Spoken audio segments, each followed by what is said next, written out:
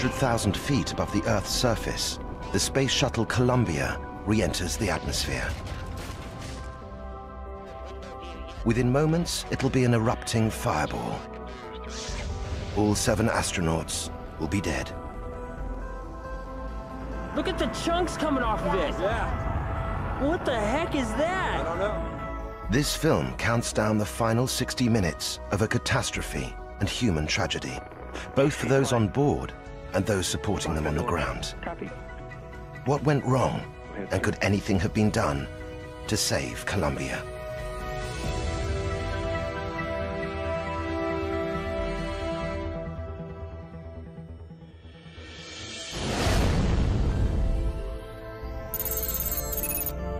February the 1st, 2003. 280 kilometers above the Earth. A team of NASA's top astronauts aboard the space shuttle Columbia prepare to re-enter the Earth's atmosphere, the most dangerous maneuver of their 16-day mission. London, Paris, Tel Aviv, Moscow, Beijing, Vancouver, New York, then London again. Around the world in 90 minutes. Their shuttle blazing in its orbit at 28,000 kilometers per hour. The astronauts experience 16 sunrises and 16 sunsets every day. Now, they must return to Earth. The hour leading up to Columbia's re-entry is a flurry of activity at John F. Kennedy Space Center in Cape Canaveral, Florida. The man who must bring Columbia back to Earth is Leroy Cain, flight director. flight. Just 39, he has risen through the ranks of NASA thanks to his iron nerve. Stable through the uh, rolls. I'm a person who sort of thrives on pressure. It is a high stress environment, and if you don't thrive and perform well in that kind of environment, it's really not a good job for you to be in. Display before keyboard. Cain knows that the lives of seven astronauts lie in his and his team's hands. Fundamentally, the flight director is responsible for the safety and success of the, of the mission, the safety of the crew, and the safe return of the vehicle. Whether this is flight on the flight loop, how do we look for landing? The shuttle's unique design is critical to its success. Top NASA scientist G. Scott Hubbard was one of the brains behind it. The shuttle is a very, very complex system, probably the most complex flying machine humanity has ever built. It takes off like a rocket, it orbits like a spacecraft, it lands like an airplane. How do those targets look to you, guidance? They look good, flight. Cain heads up the mission operations team, which must decide collectively if conditions are right to bring the spacecraft safely to the ground. Flight surgeon? The program essentially entrusts the mission operations team to execute the mission. They are entrusted with this crown jewel of, uh, of manned spaceflight to go execute the mission and do it safely and do it successfully and do everything within your ability to get the vehicle and the crew back at the end of, a, of, the, of the mission. So trust is huge.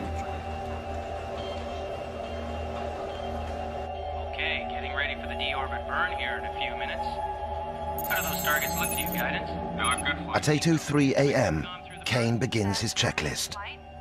Okay, flight controllers, we are through step Bringing Columbia back into the atmosphere is the most dangerous part of the mission because re-entry exposes the shuttle to 1500 degree heat. The first step to touchdown is the de-orbit burn, which means firing the shuttle's rockets to bring it into the Earth's atmosphere. The shuttle is computer guided from mission control. It's up to Cain to check every system to make sure he can get the astronauts home alive. It's all systems go. When Cain gives the order, Columbia's rockets will fire, slow down, and leave orbit.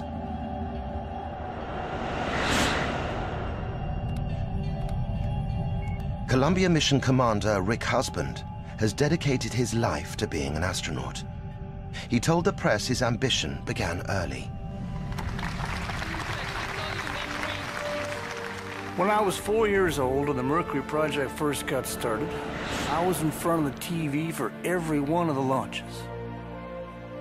And the whole time I was growing up, as long as I can remember, anytime anyone asked me what I wanted to be, it was, I want to be an astronaut.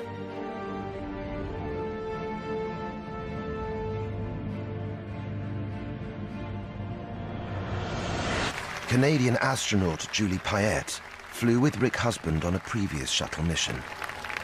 We were both rookies, uh, new guys on the block. Um, which is, you know, a particular bond uh, because you experience this new thing, spaceflight, uh, together. Uh, Rick is a Texan from Amarillo and spoke with a very uh, distinctive Texan accent. It, it it was a joy to fly and to have this experience with him. Capcom flight. We're go for the burn. They can perform the maneuver on time. Columbia, Houston, you're go for the burn and you can make the maneuver on time. Okay, Houston, go for the burn. How do we look for landing? Cain's team have never seen him flinch. Today, that'll change forever.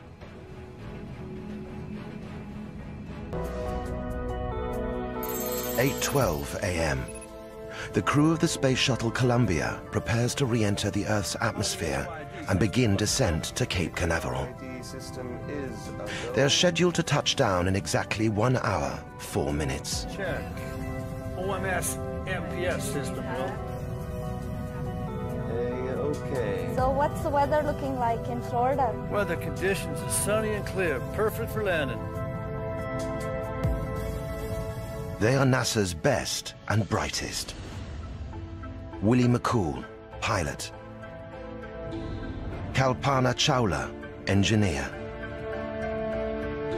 Michael Anderson, payload commander.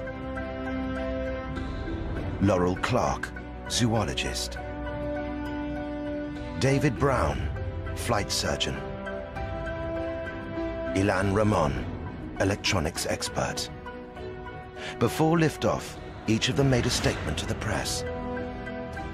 It may be something which only a handful can do, but if you really like what you do, then you've never really lost anything.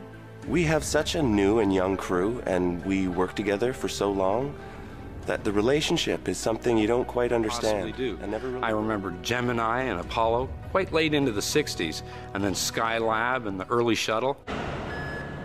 The shuttle had launched 16 days earlier. Columbia was the oldest of the fleet, and this was its 28th mission.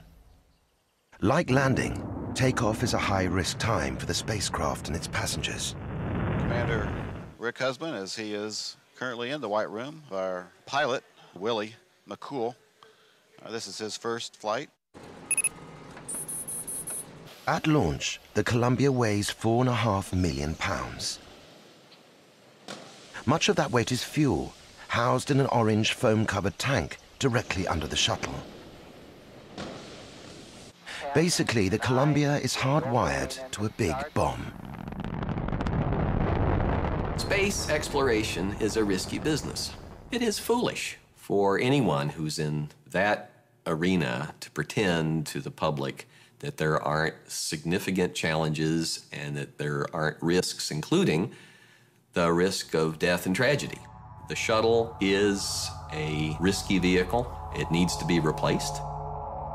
Back in 1986, the world had watched stupefied when the Space Shuttle Challenger turned into a fireball on takeoff. This terrible image scarred NASA's safety record. Almost two decades later, as Columbia launched, the fear of another disaster lingered. Columbia's mission had been delayed 13 times over two years because of technical snags. But at last, liftoff. Two, one. We have booster ignition and liftoff of Space Shuttle Columbia with a multitude of national and international space research experiments. NASA had been under a lot of pressure to get Columbia into space after so many setbacks. When you're in a program that's got a lot of schedule pressure, a lot of budget pressure, a lot of performance requirements. The tendency that grew up over time was for you to get launch fever. Let's just go ahead and get this thing done, okay? We got the right stuff. The seconds which follow liftoff are the most dangerous for the mission as the shuttle fights to escape the Earth's gravity. The Columbia launch appeared to be a textbook success. Eight minutes later, the shuttle separated from the fuel tank. Now converging Columbia's onboard computers, commanding the main engine nozzles to gently swivel, aiming the shuttle for a precise target in space for main engine. And uh, they're getting ready to take a look outside the window. And uh, The crew photographed the giant tank falling back to Earth. and we're looking at it through the overhead window. The shuttle was in orbit 300 kilometers above the Earth, racing at 28,000 kilometers per hour. For an astronaut, it's a breathtaking moment. The first free moment I have, I'm excited about just looking down at our planet and soaking it all in.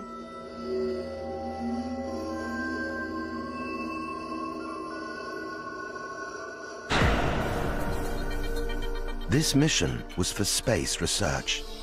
The shuttle bay was fitted with a science lab to conduct experiments designed to help scientists learn about long-term survival in space.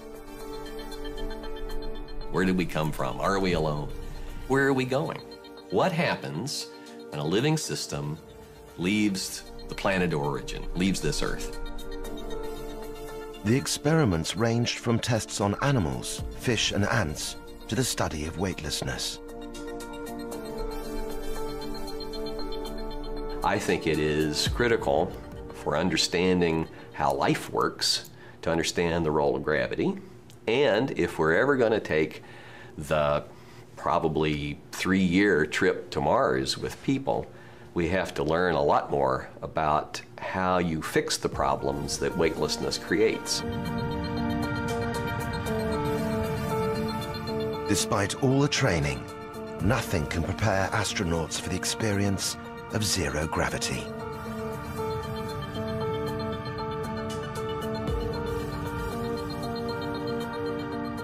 In a quarter of a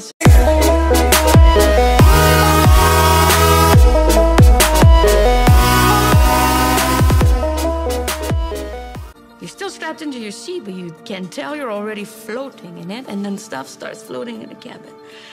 And then your brain says, Whoa, nobody told me about this. What's this about?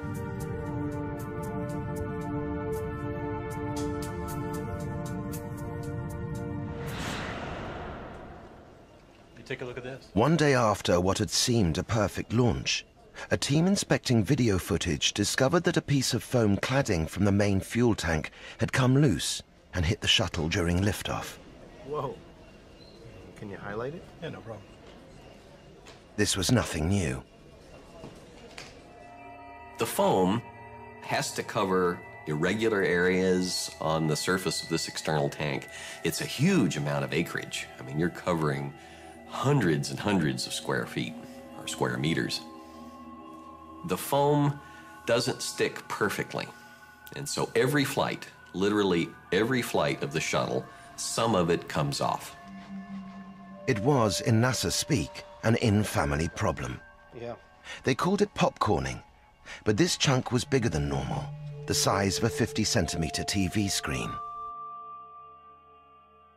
It was clear from the video that the foam had hit the orbiter's left wing, but there had been foam hits before.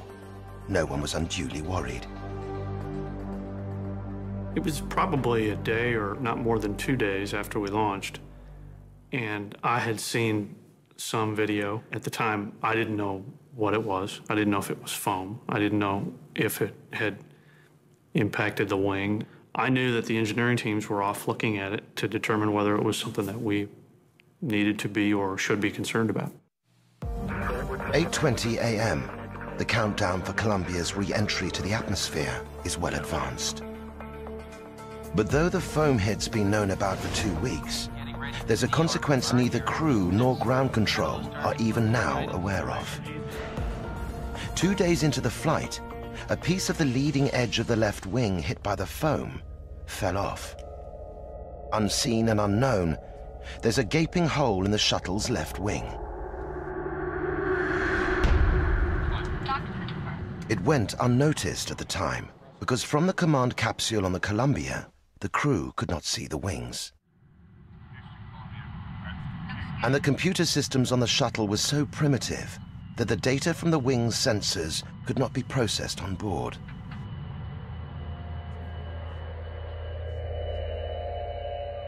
Unlike Star Trek or unlike a science fiction series, there is not aboard the shuttle some all-powerful computer that's analyzing thousands of inputs and telling the crew there's a problem.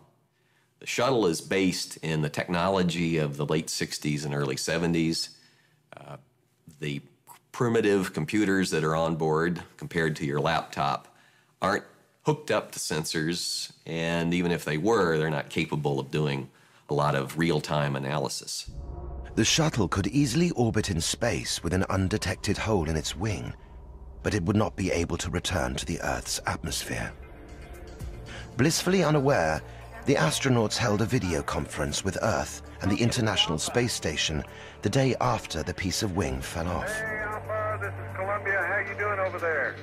We're doing great. We're so glad to see you guys made it into orbit. Yeah, we're glad to be here too. And everybody's doing a great job, and I'm really excited to be able to talk to you guys. One space lab to another big old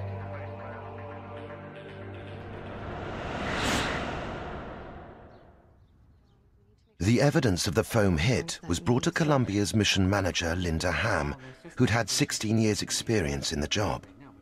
She had to decide what action, if any, should be taken.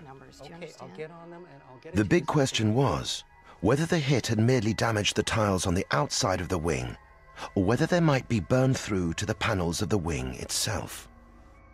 She chaired a series of conference calls with NASA engineers about the potential danger. Received the data from the uh, systems integration guys of the uh, potential ranges of sizes and impact angles and uh, where it might have hit. But uh, the thermal analysis does not indicate that there is a potential for a burn through.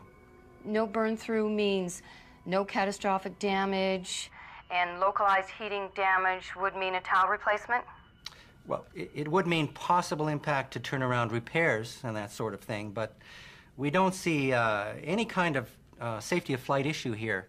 The message from the NASA technicians was clear. They saw no reason to be alarmed, just the inconvenience of a longer turnaround before the next flight. What do you think? No safety of flight, no issue for this mission, nothing we're going to have to do different. There might be a turnaround? Right, right. Although we could have some significant tile damage here, we don't see a safety of flight issue. Would be a, a turnaround issue only. Right.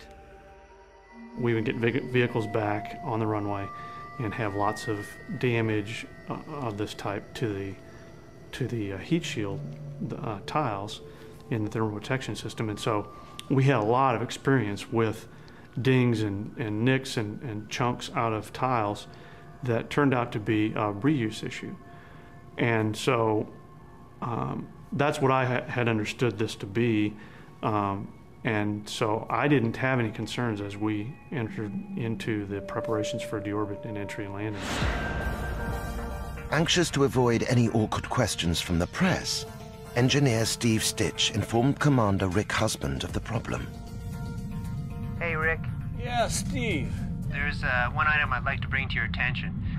The item is not even worth mentioning, other than wanting to make sure you're not surprised by it in a question from a reporter. During ascent, at approximately 80 seconds, photo analysis shows some debris impacted the orbiter left wing. Experts have reviewed the high-speed photography, and there's no concern. We have seen this same phenomenon on several other flights, and there's absolutely no concern for entry. Thanks for letting me know. I've seen this happen. Look, can you get the video up to me so I can have a look and then I'll show it to my crew? Sure thing. Safe ride home. Thanks, Steve. Keep up the good work. Columbia, out. NASA uplinked the tape to the shuttle. Rick Husband showed it to the crew. No one was alarmed. They all knew it had happened before. But some NASA engineers thought that not enough had been done to establish whether the foam hit had damaged the wing. They requested that the US Air Force use a spy satellite to get images of the orbiter in space. No, I don't believe Linda Ham and the mission management team did not seek Department of oh, Defense photographs of the shuttle. Later, they said that they had received no formal request. That is why I do go. However, there were residual concerns among the engineers on the ground. Discussions among the management team now focused on what they could do if the foam had indeed really a pierced the wing. during the flight because there's not much we can do about yeah, it. as everybody knows, we uh, took a hit on the left, uh, somewhere on the left wing leading edge, and uh, uh, we are also talking about what you can do in the event that uh, we do have some damage there. Right, okay. So we ought to pull Linda Ham asked for comparisons to be made with previous shuttle uh, flights. the data from 112 or whatever the flight was, just to make sure. Yeah, and, and we'll do that. Then Ham delivered an explicit admission. NASA was helpless. You know, I'm really. I really don't think there's much we can do. So it's not really a factor with this flight because there's nothing we can do about it. Okay.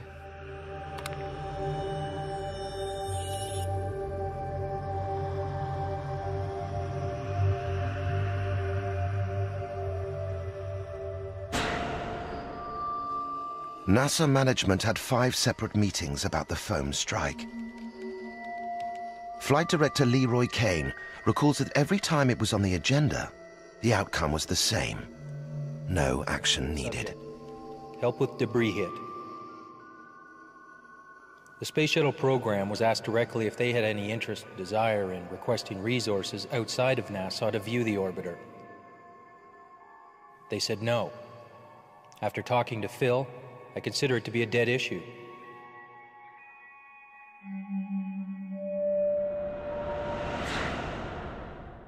Two days before their scheduled return to Earth, husband McCool and Chawla ran a complete simulation for re-entry. Husband and his team were confident. The Columbia was technically ready for touchdown at Cape Canaveral at 9.16 on February the 1st. No one on board the shuttle or on Earth had any idea that there was a gaping hole in Columbia's left wing and the astronauts were doomed.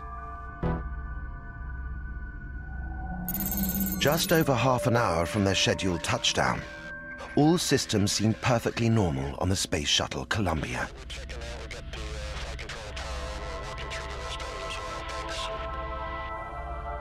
In mission control, flight director Leroy Cain feels total calm. It was right by the numbers, as I recall. And then we worked uh, with the crew through the post-burn checklist. There was nothing out of the norm. Everything was was going really well. The systems were all performing very well. The the, the team was was really um, on top of its game that day. How do we look for landing? Two minutes later, Columbia enters the discernible atmosphere, 400,000 feet above the Earth's surface. The utter cold of space gives way to intense heat on Columbia's hull.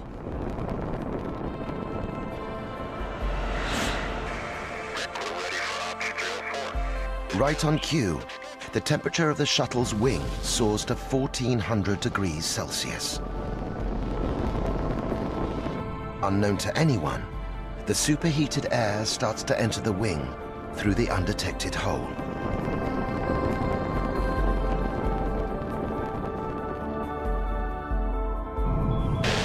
Rick Husband and Willie McCool start the re-entry procedure. It is completely computer controlled.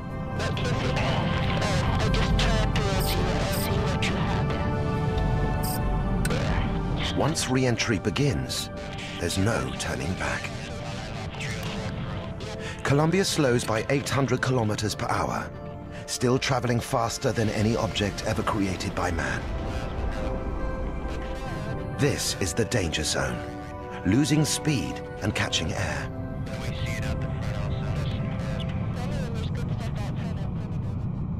You have to go from 17,000 miles an hour to zero, sitting on a runway somewhere, in the span of just a few minutes. That means that you have to give up a huge amount of energy in a short period of time. That translates into a lot of heat. Inside the command capsule, the astronauts stare in awe at the raging heat outside the glowing windows. This is amazing. It's really getting uh, really bright out there. Yeah, you definitely don't want to be outside now. They have seen it before, but it never ceases to amaze.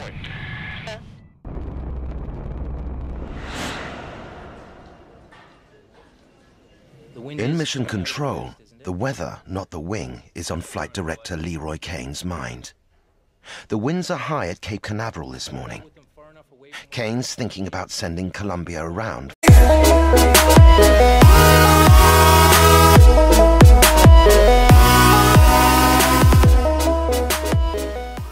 For another orbit. At the last minute, he decides conditions are within the margin of safety. He gives approval for the planned touchdown in Florida. There is just one anomaly. A sensor on the left wing shows the leading edge is 1,650 degrees, 500 degrees hotter than ever recorded on a shuttle re-entry.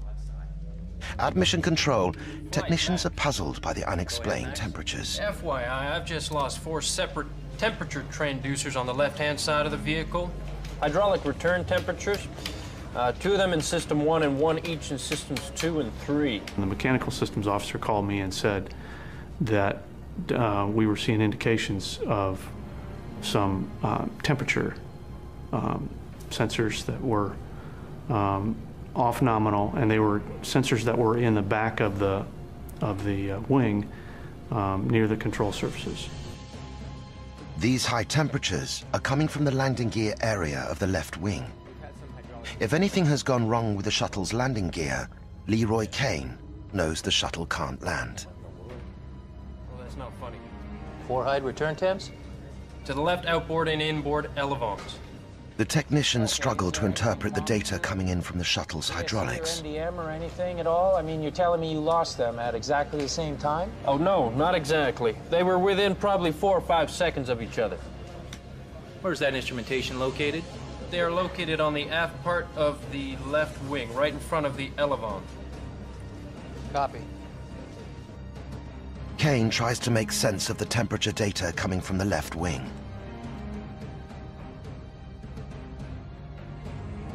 There was no bus, no, no cable, no MDM, no single thing that was common to all of those measurements, um, except the fact that they were all in the left wing. That, that was the commonality, as it turns out.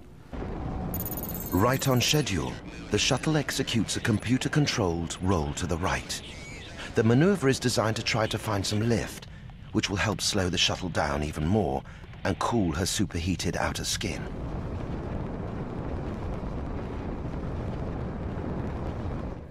The shuttle is still doing everything that it's supposed to. Cain reassures himself the problem with the sensors on the left wing is a computer error.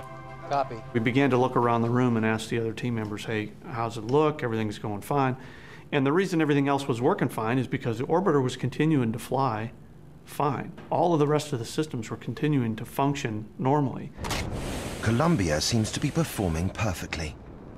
What no one realizes is that the breach in the left wing is pushing the thrusters into overdrive to compensate.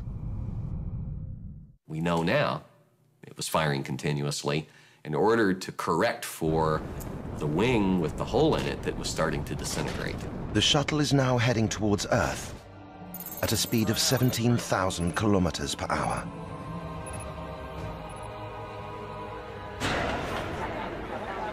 At Mission Control, Cain's team monitor the descent.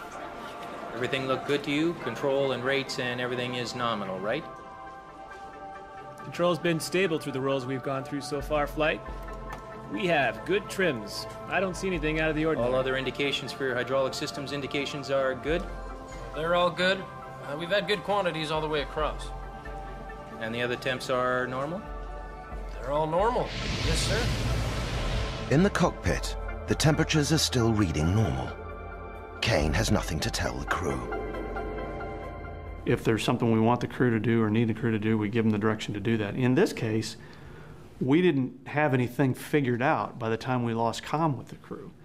Right on schedule, the computer kicks in once more, and Columbia executes a roll reversal, another maneuver to slow the vessel's re-entry speed. And once again, the shuttle performs perfectly. Wing temperatures even begin to drop exactly as planned despite the damage. But readings on Columbia's hydraulic systems on the left wing are still going haywire. We see it out the front also. Max, tell me again. Which system's there for? Uh, that's all three hydraulic systems. These extreme readings present a puzzle no one has planned for. Left outboard elevon and two in the left inboard. Okay. I got you. And when you say you lost those, are you saying they went to zero or off scale low? All four of them are off scale low. And they were staggered. They were, like I said, within seconds of each other. In Arizona, a group of shuttle watchers get up early to take home videos of the famed Columbia. There's seven people in that thing. Wow. Look at the chunks coming off of it. Yeah. What the heck is that? I don't know, but I see what you're saying. Ice, maybe? The crew on board Columbia are still totally unaware that there is any problem. They cannot see the disintegrating wing. The Columbia should now be visible to NASA tracking stations, but there is no sign of it. Because I asked the flight dynamics officer to verify that the systems were working the way they were supposed to, and he verified that they had been checked and they double checked and they just checked them again and they're working and they're not seeing the orbiter in the space and time where it's supposed to be. At that point, I pretty much felt like we probably had a significant problem that we may not be able to recover from. Although I still didn't, I still wasn't ready to, to uh, acquiesce to that. A huge piece of thermal tile flies off the shuttle. It will be the first piece of Columbia found on the ground by investigators. What was that? I don't know. The shuttle is now uncontrollable. Columbia, this is Houston. Columbia, respond. Then, a new problem from the systems tech in mission control. Just lost tire pressure on the left outboard and left inboard. Both tires. Copy. Cain's calm answer masks his confusion. Columbia, this is Houston. Please respond. Losing tire pressure means the Columbia will crash on touchdown. The loss of tire pressure is detected in the cockpit. Uh, Pressure on left outboard and left inboard, both tires. Rick Husband tries to reach mission control. These are his final recorded words. Five flight max are also off, off scale.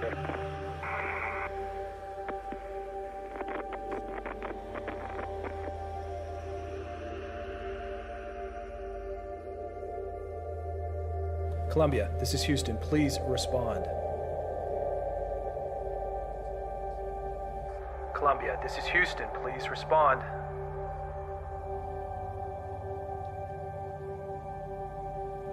Flight, there's Still no response from Columbia. Copy. Leroy Cain's mind flashes back to the foam impact.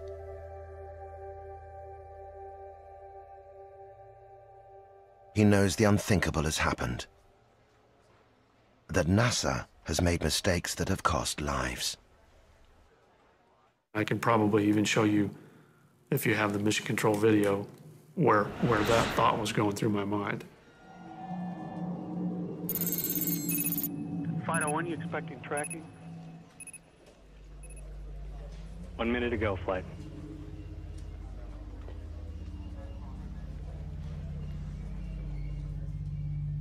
Columbia, Houston, UHF com check.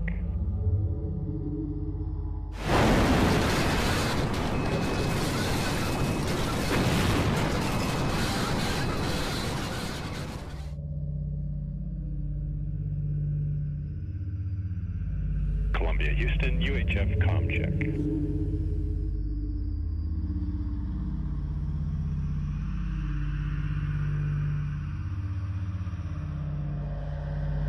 Uh, the orbiter may have started flipping around, it may have started tumbling. We're not really sure, but it was not instantaneous.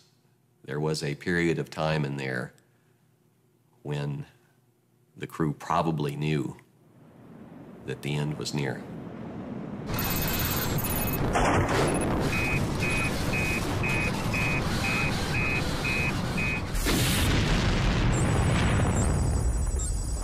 At 9 a.m., the Space Shuttle Columbia disintegrates. The flagship of the fleet, a screaming fireball over the desert.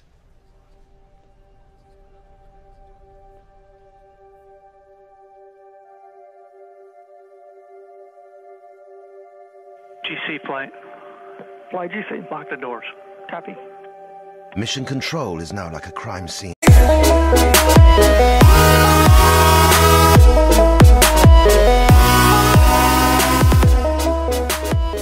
Mission control is now like a crime scene that must not be contaminated.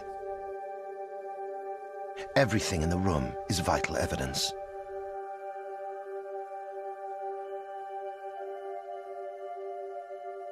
I, I just wanted to make sure that, that number one, folks understood that, again, um, stay focused on the task here. Let's um, stay within ourselves and stay within the system and, and keep doing what we know and understand how to do until we know more. And, uh, and that's when I asked him to lock the doors. Seven men and women have died on Leroy Cain's watch. Marty, can you confirm that the uh, DDS, DDMS folks uh, in the Dallas area have been mobilized to the extent we're able to? Yeah. Rescue Coordination Center is mobilizing to that area. These were people that I knew, that I cared about. They were part of my, uh, certainly part of my work family, and, and uh, these are people that my kids and my wife knew and had relationships with. Um, he was part of our family, and uh, it was difficult to think about the, the fact that we may have just lost it.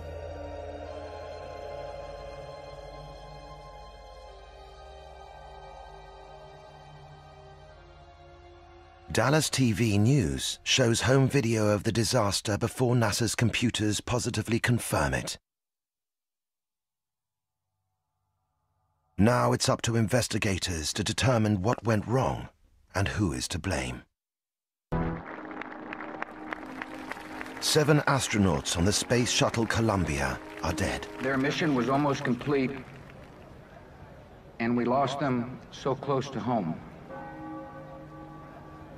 The men and women of the Columbia had journeyed more than six million miles and were minutes away from arrival and reunion. The catastrophe that has resulted in a deadly fireball over Texas is one of NASA's worst failures.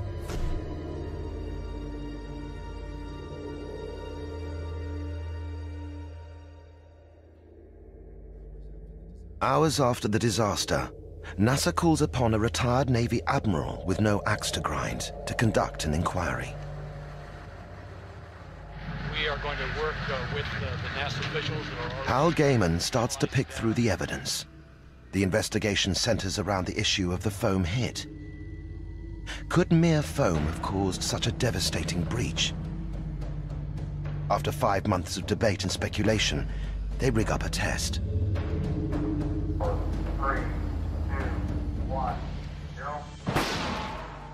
We fired a 1.7 pound piece of foam at about 500 miles an hour at the lower part of panel number eight that had been taken off one of the other orbiters. So it had a flight history just exactly, or as close as we could, to that of Columbia.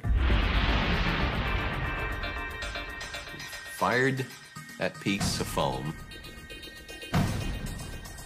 and it blew a hole 16 inches in diameter. There was a audible gasp from the crowd. The astronauts who were with me,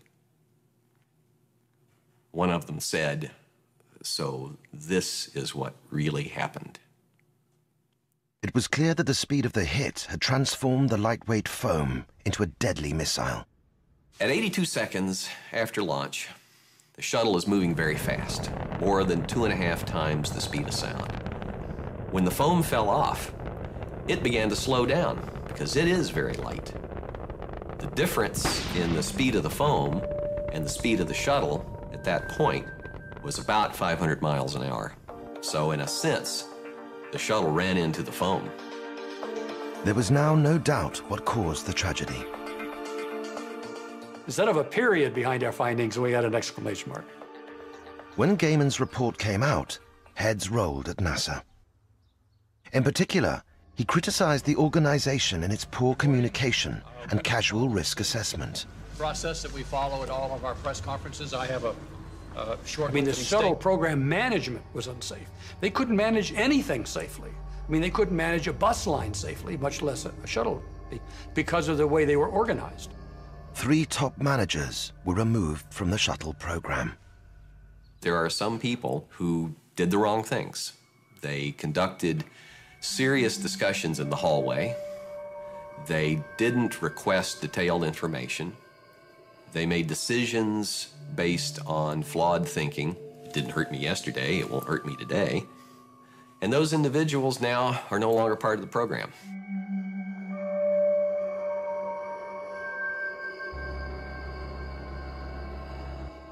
The ground team broke its covenant with the astronauts. That, that covenant is that uh, when we put you up in space and while you're up in space, we will do everything we possibly can to ensure your safe return. And that they did not do everything that they could to ensure the safe return of the Columbia. But could anything have been done to save the lives of the seven astronauts aboard Columbia? There was no onboard toolkit, so a repair would have been impossible. Scientist G. Scott Hubbard thinks a rescue could have been attempted. This country has done incredible things to rescue people over the years. It would undoubtedly have been a decision at the highest levels to pursue this because what if the next orbiter had the same foam problem? And on launch, another hole was created. You would have to weigh huge set of contingencies and problems and issues against each other. But the answer we came up with was it is, in principle, possible for a rescue mission.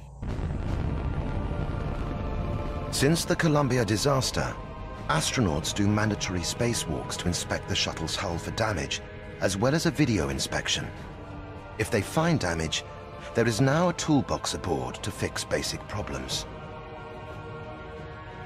For the seven aboard the Columbia on the 1st of February 2003, these reforms came too late.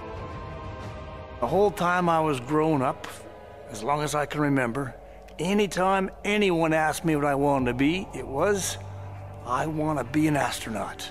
And when you talk to these people who are pretty old today, and you tell them that you're going to be in space, they look at you as a dream that they could never have dreamed of.